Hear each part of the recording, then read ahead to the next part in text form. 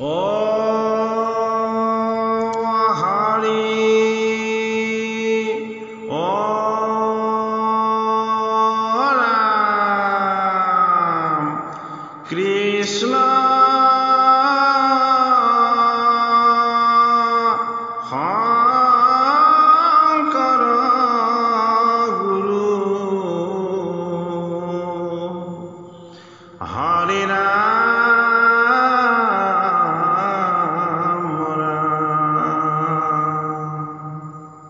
হে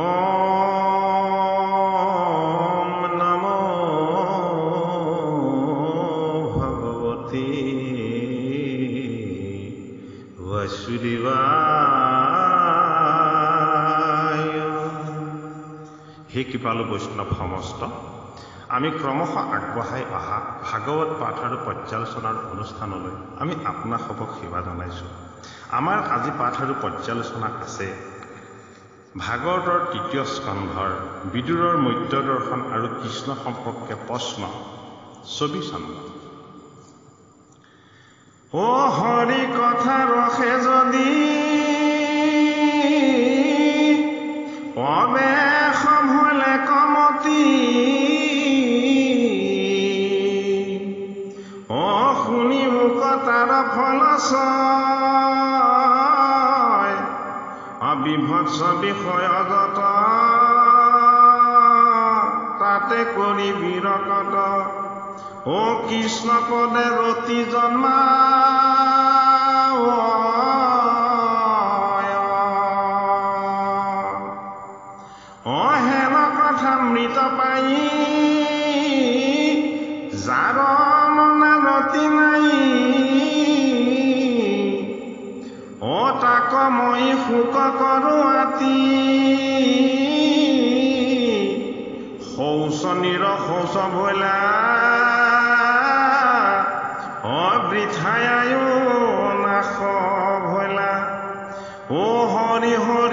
be at more.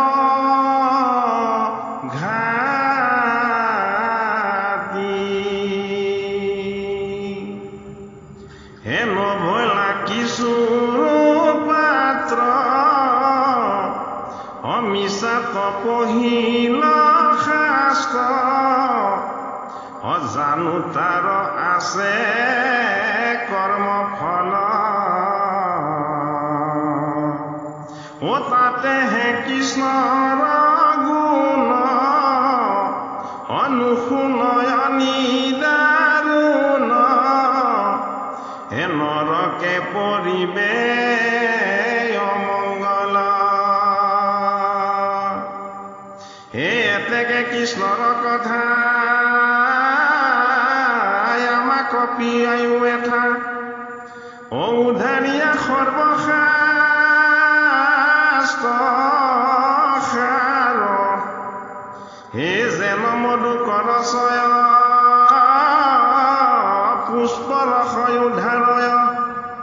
সেই মতে কৰিয়া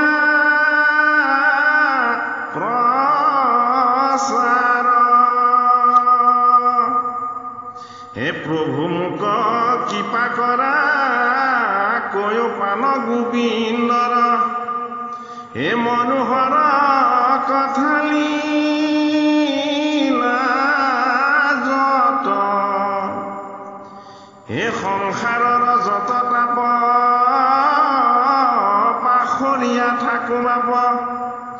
অদ্রুবি কৃষ্ণ কথায় অমৃত অনিগরতি সুকরিষি শুনা ৰজা মহাযশী অবিদুৰ অ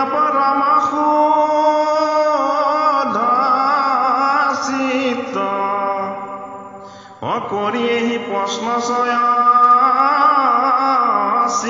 sinta kipamoyo অপেমে tomhi rohila তহিত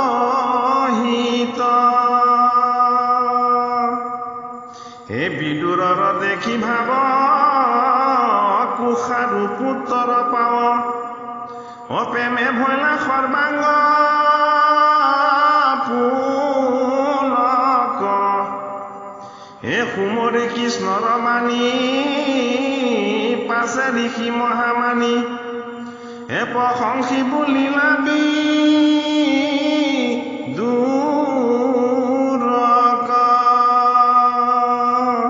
অৰ্থাৎ ভাগৱতৰ তৃতীয় স্কন্ধৰ চৌবিশ চন্দ্ৰৰ এই ভাগৱত কথাই আমাক যেন বেকত কৰিছে যে সেই কৃষ্ণৰ কথামৃত পাণ কৰিব খোজা সেই কৃষ্ণৰ প্ৰতি ধাৱমান ভকতসকল ভগৱন্তৰ কৃষ্ণ পদ পংকজত ঠাই বিচৰা সেই কৃষ্ণৰ সেৱকসকল।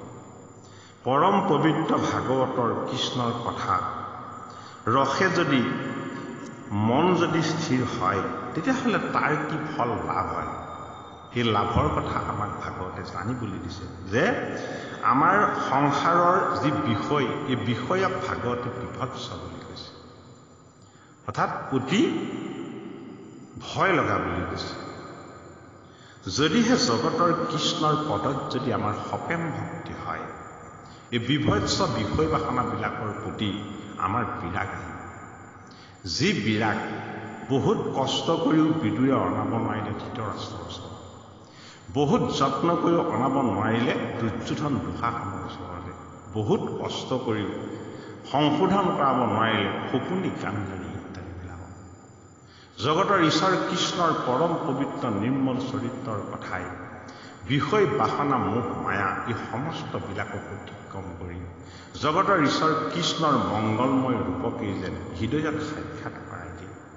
এনেধৰণৰ কৃষ্ণৰ কথাৰ প্ৰতি যিজনৰ ৰুটি নাই যিজনৰ কোনো আগ্ৰহ নাই তাক তাক লৈ মই কি কৰোঁ বুলি কৈছে বিদুৰ মহামতীয়ে কৈছে যে সেইজনলৈ মোৰ শোক লাগে। সেইজনলৈ মোৰ দুখ লাগে। কিয়নো তেওঁ যদিও মানৱজনীত জন্ম লৈ যদিও তেওঁ শুদ্ধ বা শৌচ এটা জীৱন লাভ কৰিছিল কিন্তু হৰিৰ মায়াৰে মোহিত হৈ তেওঁ আত্মঘাতী স্বৰূপ পাপৰ পথলৈ গুচি গ'ল। কিয়নো তেওঁ জগতৰ ঈশ্বৰ কৃষ্ণৰ প্ৰতি সপেম ভক্তি জগতৰ ঈশ্বৰ কৃষ্ণৰ নিৰ্মল ভক্তিৰ প্ৰতি তেওঁ মন ঢাল নোখোৱাই তেওঁ নিজেই নিজকেই যেন আত্মঘাতী কৰিলে যিসকলে জগতৰ ঈশ্বৰ কৃষ্ণৰ কথাত কৃষ্ণৰ গুণত আৰু পৰম পবিত্ৰ কৃষ্ণৰ পৰম পবিত্ৰ অমৃত ৰস যিসকলে পান নকৰে সেইসকলে একোৰে পাত্ৰ নহয়। মিছাতেই তেওঁলোকে শাস্ত্ৰ আদি অধ্যয়ন কৰে। তেওঁলোকক জীৱনৰ কৰ্মৰ বন্ধনে মেৰিয়াই মেৰিয়াই ধৰে আৰু তেওঁলোকে অতি নিদাৰুণভাৱে নৰকৰ ফালে ধাৱমান ভাগৱতৰ এই চৌবিচন্দ্ৰৰ পদে আমাক যেন পৰামৰ্শ দিছে যে কৃষ্ণৰ কথা অমৃতস্বৰূপ এই অমৃতক সুখ সুখদেৱ স্বৰূপ গুৰুৱে পৰীক্ষিত স্বৰূপ ভকতক এই অমৃতকেই পাণ কৰাইছে। আৰু কলিৰ সমস্ত মনুষ্যক উদ্ধাৰ কৰিবৰ কাৰণে সুখদেৱেও কলিৰ সন্ধ্যাত এই ভাগৱত শাস্ত্ৰকে প্ৰচাৰ কৰিছে। পৰম পবিত্ৰ কৃষ্ণৰ এই নিগুণ ভক্তি ভগৱানৰ পৰম পবিত্ৰ সান্নিধ্য ভকতে যদি লাভ কৰিবলৈ হয় তেতিয়াহ'লে জগতৰ ঈশ্বৰ কৃষ্ণৰ পৰম পবিত্ৰ কৃপা লাগিব। যিদৰে বিভিন্ন ধৰণৰ পুষ্পৰ পৰা মধুকৰ বা মৌ মাখি অথবা ভোমোৰাবিলাকেহে মৌ সংগ্ৰহ কৰে যিসকলৰ জগতৰ ঈশ্বৰ কৃষ্ণৰ প্ৰতি ভক্তি জাগিছে সেইসকলৰ প্ৰতি জগতৰ ঈশ্বৰ কৃষ্ণৰ মৌ মাখি আৰু ভোমোৰা স্বৰূপ জীৱৰ প্ৰতি তেনে জীৱন দানৰ যি কৃপা হৈছে নৰতনো দান কৰি তেওঁলোককো জগতৰ ঈশ্বৰ কৃষ্ণস্বৰূপ অমৃতৰ ভ্ৰমৰ আৰু মৌ মাখি বুলি তেওঁলোককো পৰিচয় দিছে। জগতৰ ঈশ্বৰ কৃষ্ণৰ পৰম পবিত্ৰ কথা শ্ৰৱণ কৰিবৰ নিমিত্তে বিদুৰ মহামতীৰ শুদ্ধ চিত্তে কুষাৰুৰ নন্দন মৈত্ৰেয়ৰ ওচৰত গৈ সপেম ভক্তিৰে সৈতে তেওঁক প্ৰণাম জনালে। বিদুৰৰ এই পৰম পবিত্ৰ ভক্তিৰ ভাৱ দেখি মৈত্ৰেয়স্বৰূপ গুৰুৰ দেহৰ সমস্ত অংগ সপেম ভক্তিৰে পুলকিত হৈ পৰিল আৰু জগতৰ ঈশ্বৰ কৃষ্ণক স্মৰণ কৰি মহামানী মহামানী বুলি বিদুৰক মৈত্ৰেয় স্বৰূপ গুৰুৱে প্ৰশংসা কবিৰ উপদেশ হে জয় জয় কৃষ্ণ দেৱ তজ পাৱে কৰো কৃপা কৰাই অধম মোক হে কৃষ্ণ যদুপতি চৰণত ৰতি এ জন্মে জন্মে ৰহিয়া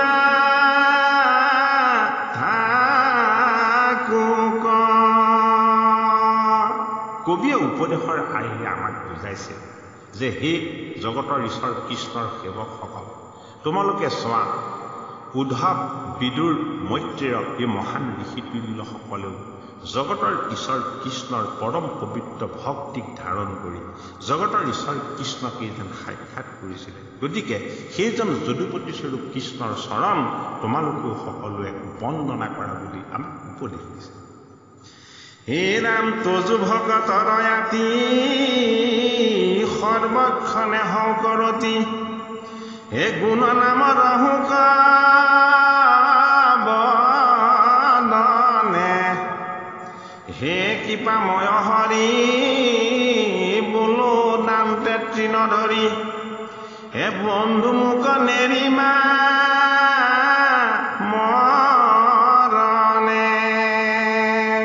আৰু কৈছে যে হে জগতৰ ঈশ্বৰ মোৰ তোমাৰ প্ৰতি প্ৰতিটো ক্ষণতেই যাতে মোৰ ধাউতি থাকে।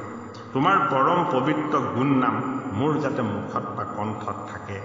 হে কৃপাময় হৰি মই স্বৰূপ অবোধ শিশুৰ দৰে মই স্বৰূপ এটি সাধাৰণ তামোৰীৰ নিচিনা পক্ষৰ দৰে মই তোমাক দিবলৈ একো নাই। মই তোমাৰ পৰম পবিত্ৰ ভক্তিৰ এটি তিন্ন যেন মই মুখত ধাৰণ কৰি মই তোমাক জনাইছোঁ প্ৰাৰ্থনা কৰিছোঁ হে জগতৰ ঈশ্বৰ।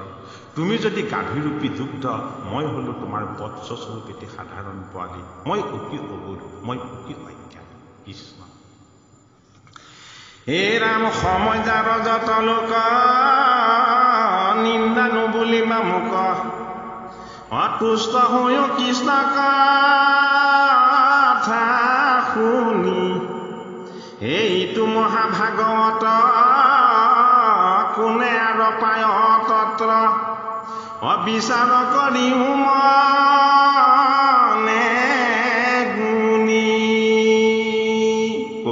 কৈছে যে সেই সামাজিক লোক তোমালোকে মোক নিন্দা নুবুলিবা। তোমালোকে সমস্তই পৰম পবিত্ৰ কৃষ্ণৰ কথা শুনি সন্তুষ্ট হোৱা। ই মহাভাগৱত পৰম পবিত্ৰ জ্ঞান আৰু ভক্তিৰ সমুদ্ৰস্বৰূপ। ইয়াৰনো কোনে তত্বৰ পাৰাপাৰ পায়? ইয়াকে ভাবি তোমালোকেও মোৰ এই কাৰ্যত নিন্দা নকৰি ভাগৱত ভগৱন্তৰ চৰণত সেৱা জনোৱা হে ৰাম কিন্তু ভাষ্যতিকা চাই ইহাৰ পৰীক্ষা লৈ। অতেবে নিন্দা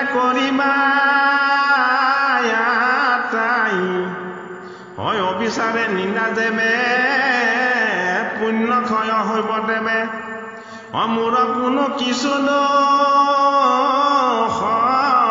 নাই। অৰ্থাৎ যদিও কবিয়ে ভাগৱত শাস্ত্ৰভাগৰ সংস্কৃত মূলৰ পৰা পদবন্ধে নিবন্ধন কৰিছে তেখেতেও কৈছে যে আমিও টিকা ভাষ্য চাইহে এই দুঃসাহসিক কাম কৰিবলৈ আগবাঢ়িছোঁ। আমাৰ কৰ্মত যদি আপোনালোকে নিন্দাও কৰে তেতিয়াহ'লে আপোনালোকে টিকা ভাষ্য বুজি লৈ তাৰ তত্ত্ব আৰু মৰ্ম আপোনালোকে অনুভৱ কৰি লওক। নহ'লে এনেই অপবাদৰ যোগেদি যদি আমাক নিন্দা কৰে এই নিন্দাৰ পাকে কিন্তু আপোনাক স্পৰ্শ কৰিব? আমাৰ কিন্তু কোনো দুখ ইয়াত নাই। হে বিশেষত মহন্তৰ ক্ষমা সে ভূষণ হয়। অজানি মুত হৈও কাপন অ যদি নিলে দুষ্ট লোক তাত মূৰ নাহি শোক অ আপোনাৰ দুখে হৈ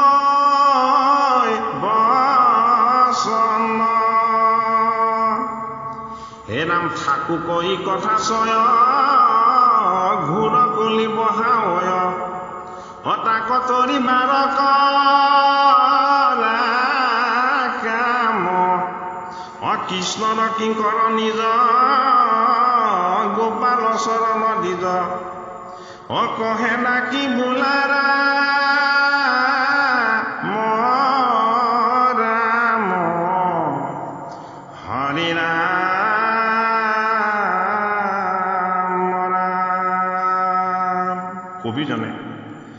ভাগৱতৰ তৃতীয় স্কন্ধৰ বিদুৰ মৈত্ৰেয়ৰ যি সাক্ষাৎ সেই সাক্ষাতৰ উপদেশ ঘোষাৰ উপদেশ পদৰ যোগেদি আমাক জানিবলৈ দিছে যে বিশেষকৈ এজন মহন্তৰ প্ৰধান সৎগুণ কি মহন্ত মানেই হ'ল মহৎ গুণৰ পৰা মহন্ত মানেই হ'ল জগতৰ ঈশ্বৰ কৃষ্ণক কায় বাক্য মনেৰে সৈতে হৃদয়েৰে সৈতে তেওঁক কৰা পৰম নিৰ্মল ভক্তি।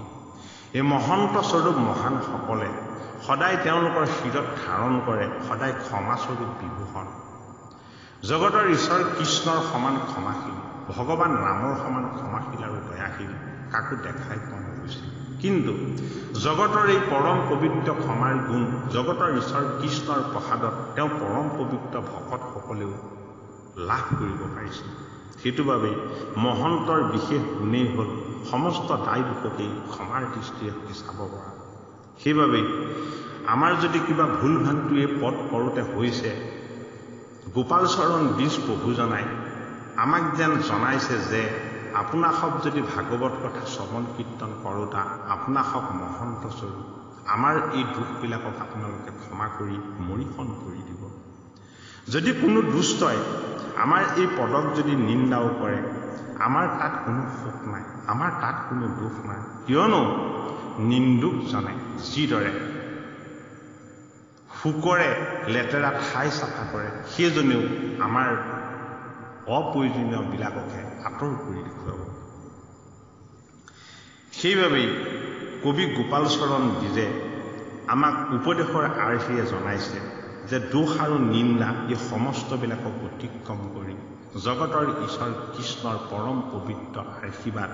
জগতৰ ঈশ্বৰ কৃষ্ণৰ এজন পৰম পবিত্ৰ সেৱক।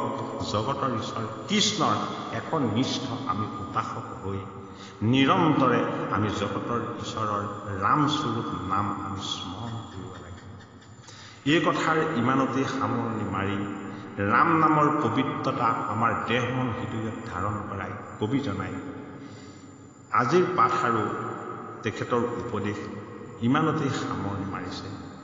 সেই কৃপালু বৈষ্ণৱ সমস্ত এই ভাগৱত হ'ল জ্ঞান ভক্তিৰ সমুদ্ৰ। এই সমুদ্ৰৰ পাৰত আমি প্ৰত্যেকেই একো একোটা তেনেই ধূলিকণা ভাগৱতৰ গভীৰ পৰম তত্বৰ কথা অনুভৱ কৰাটো অতি জটিল অতি দুৰ্বৃত্ত এয়া হ'ল আত্মাৰ যোগেদি পৰমাত্মাক সাক্ষাৎ কৰাৰ এক গভীৰ ব্যৱস্থা। ভাগৱতৰ আজিৰ আমাৰ পদ আৰু ব্যাখ্যাৰ সমস্তখিনি ভুল ত্ৰুটিৰ বাবে আমি আপোনাক সবৰ চৰণত ক্ষমা ভিক্ষা কৰি আমাৰ আজি পাঠ আৰু পৰ্যালোচনাৰ অনুষ্ঠান আমি ইমানতেই সামৰণিৰ সেৱা ধৰিছোঁ অ হৰি অ ৰাম জয় গুৰু শংকৰ। হে কৃপালু বৈষ্ণৱ সমস্ত আমাৰ অহাভাগী পাঠত মৈত্ৰেয়ৰ বিদুৰ প্ৰশংসা আৰু শ্ৰীকৃষ্ণৰ সৃষ্টি সৃষ্টি স্থিতি লীলা বৰ্ণনা। কৰা আছে কৃষ্ণ